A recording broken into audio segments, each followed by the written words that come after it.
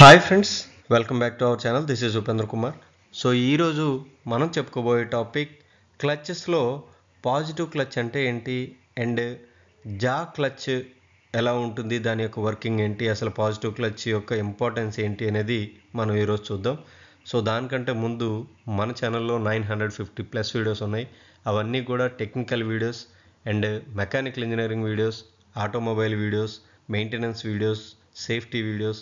So ఇలా number of videos useful videos ఉన్నాయి. అవన్నీ కూడా మీకు యూజ్ అవుతాయి.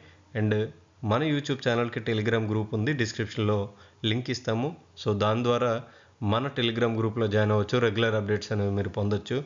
అండ్ మీ అందరికీ చెప్పేది ఏంటి అంటే మీరు వీడియో చూసిన ప్రతి ఒక్కరు కూడా లైక్లు చేయండి కామెంట్లు చేయండి. సో దానివల్ల ఏంటి అంటే మీకు వచ్చే నష్టం ఏం లేదు. మాకు ఒక బూస్టప్లో ఉంటుంది. సో మీకు కావాల్సిన వీడియోస్ అన్నీ కూడా మేము ఇంకా బాగా చేయడానికి ప్రయత్నిస్తూ ఉంటాము. సో తప్పకుండా లైక్స్ కామెంట్స్ చేయండి. ఈరోజు మన టాపిక్ చూద్దాం. పాజిటివ్ క్లచ్ అంటే ఏంటి? అండ్ జా క్లచ్ అంటే ఏంటి? ఓకే. సో జనరల్గా మనం క్లచ్ ఎందుకు యూజ్ చేస్తామో మనకు తెలుసు. ఓకే. పవర్ అనేది ఒక షాఫ్ట్ నుంచి ఇంకొక షాఫ్ట్కి దాన్ని మనం ట్రాన్స్మిట్ చేయడానికి అండ్ ఒక్కొక్కసారి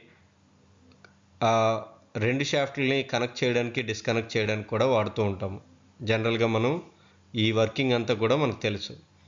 సో టైప్స్ ఆఫ్ క్లచెస్లోకి వచ్చేసరికి ప్రీవియస్గా మనం ఒక క్లాసిఫికేషన్ చూసాం. అదేంటి? ఓన్లీ ఫ్రిక్షన్ క్లచెస్ ఏవైతే ఉన్నాయో వాటి గురించే చూసాం. కానీ ఈ టైప్స్ ఆఫ్ క్లచెస్లో మనం పాజిటివ్ క్లచెస్ గురించి కూడా తెలుసుకోవాలి. ఓకే. సో ఇప్పుడు మనం ఫస్ట్ నుంచి చూసుకున్నట్లయితే టైప్స్ ఆఫ్ క్లచెస్ సో ఇందులో ఫ్రిక్షన్ క్లచెస్ ఫ్రిక్షన్ యూజ్ చేసి మనం ఆ క్లచ్ని ఆపరేట్ చేస్తే ఓకే సో ఆ పవర్ని ట్రాన్స్మిట్ చేస్తే ఒక షాఫ్ట్ నుంచి ఒక షాఫ్ట్కి ఫ్రిక్షన్ యూజ్ చేసి దాన్ని మనం ఫ్రిక్షన్ క్లచెస్ అన్నాం. అదే ఫ్రిక్షన్ లేకుండా ఇంకొక మెకానిజం యూజ్ చేసి మనం పవర్ని ఒక షాఫ్ట్ నుంచి ఇంకొక షాఫ్ట్కి ట్రాన్స్మిట్ చేస్తే దాన్ని మనం పాజిటివ్ క్లచెస్ అన్నాం. ఓకే సో దీని గురించి మనం ఈరోజు తెలుసుకుందాం. Okay so positive క్లచెస్లో square jaw clutch spiral jaw clutch ఈ రెండింటి గురించి మనం ఈరోజు చూద్దాం. ఓకే దానికంటే ముందు ఈ ఫ్రిక్షన్ క్లచెస్ ఏవైతే ఉన్నాయో అవి ఏంటి అనేది ఒక జనరల్ ఐడియాలో చూద్దాం. కోన్ క్లచ్ మనం ఆల్రెడీ చదివాం. సెంట్రిఫికల్ క్లచ్ సో ఇది కూడా చదువుకున్నాం. Dry clutch. సో ఇది మనం కవర్ చేయలేదు. చేద్దాం. Magnetic current clutch. సో ఇది కూడా మనం చేయలేదు. చూద్దాం. And eddy current clutch. ఇది కూడా మనం కవర్ చేద్దాం. And plate clutch. దాన్ని మనం డిస్క్ క్లచ్ అని కూడా అంటారు. సో అదేంటి? Single plate clutch multi plate clutch. ఇది కూడా మనం కవర్ చేసాం. సో ఇందులో one two three. Three cover చేసాము సో ఈ త్రీ కూడా ఉన్నాయి. ఓకే సో మనకి ఇంపార్టెంట్ ఈ మూడు కాబట్టి వీటిని మనం కవర్ చేసుకున్నాము. ఇప్పుడు పాజిటివ్ క్లచ్ గురించి మనం ఈరోజు తెలుసుకుందాం. ఓకే సో ఇక్కడ మీరు చూసినట్లయితే ఇక్కడ ఎగ్జాంపుల్ ఫ్రిక్షన్ క్లచ్కి ఇది ఒక ఎగ్జాంపుల్ చూసారు కదా? ఫ్రిక్షన్ లైనర్ ఉంది. అదే పాజిటివ్ క్లచ్కి రెండు షాఫ్ట్లు కనెక్ట్ చేస్తుంది కానీ ఇక్కడ ఎక్కడ కూడా మీకు ఫ్రిక్షన్ లైనర్ అనేది లేదు. సో ఈ టైప్ ఆఫ్ క్లచ్చింగ్లో సిస్టంలో ఫ్రిక్షన్ అనేది జనరేట్ అవ్వదు. ఓకే సో ఇప్పుడు చూద్దాం.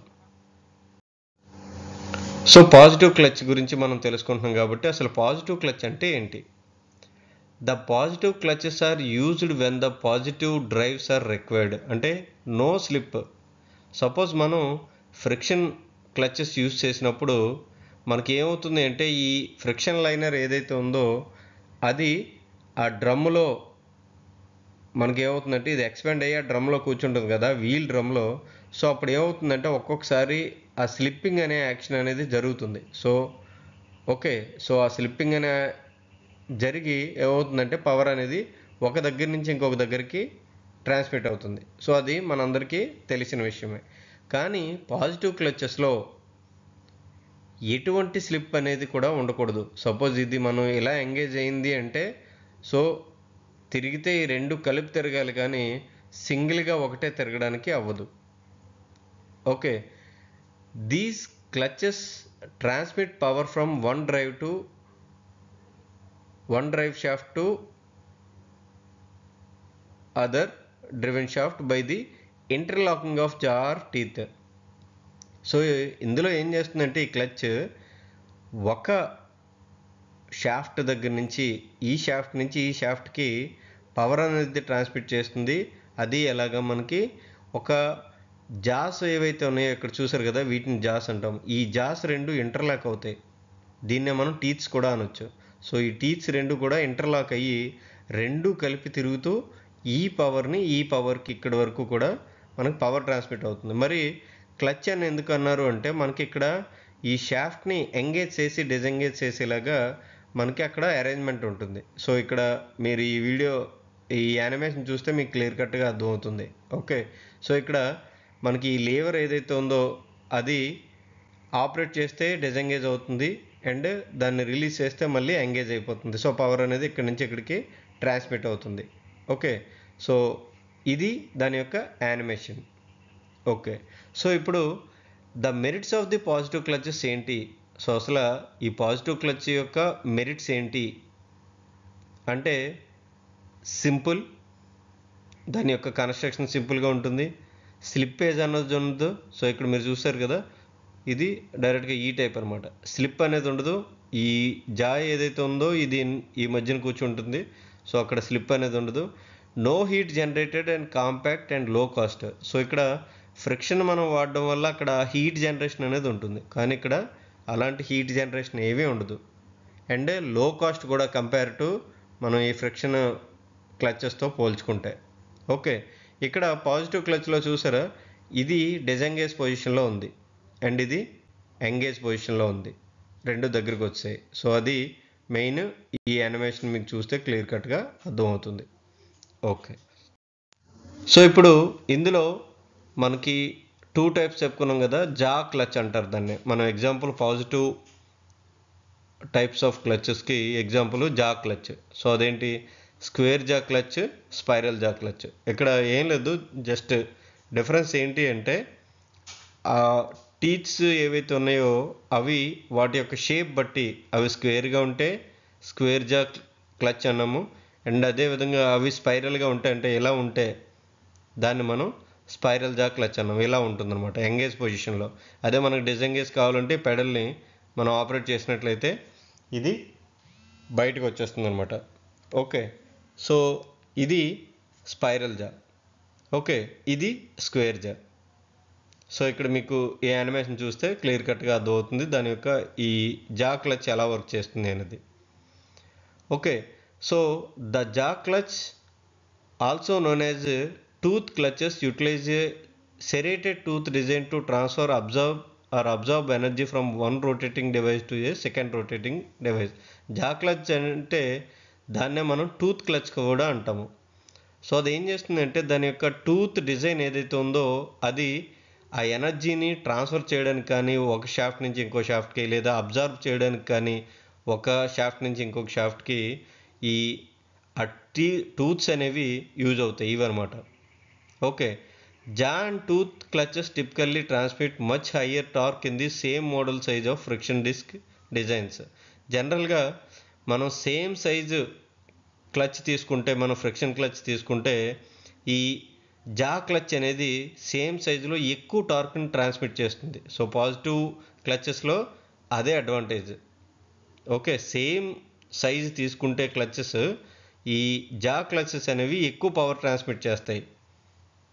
Okay but they are limited by engagement speed. So ఇక్కడ మరి మరి అదే వాడుకోవచ్చు కదా మనం ఆ క్లచెస్ని ఎందుకు వాడుతున్నాము అంటే అక్కడ స్పీడ్ అనేది మనకి లిమిటెడ్ అంటే తక్కువ స్పీడ్లో మాత్రమే ఈ జా క్లచెస్ అనేవి వాడాలి. ఓకే? సో అవేంటి? ఎందుకోసము అంటే మనకి రన్నింగ్ అవుతున్నప్పుడు మనకి ఎప్పుడు ఏంటి? డిజెంగేజ్ ఎంగేజ్ కూడా రన్నింగ్లోనే అవ్వాలి కదా?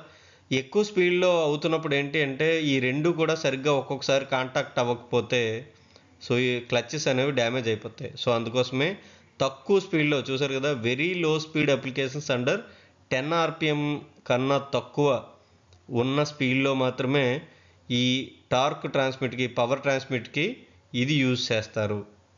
ఓకే హయ్యర్ స్పీడ్లో అయితే మాత్రం వాడరు.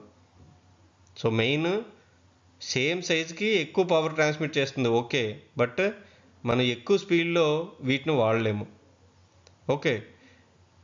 Allowed unless the tooth from specially design for it ఒకవేళ మనం ఇదే వాడాలి అంటే ఈ జా క్లచ్చే వాడాలి అంటే స్పెషల్ టూత్స్ అనేవి అక్కడ డిజైన్ చేయాలి.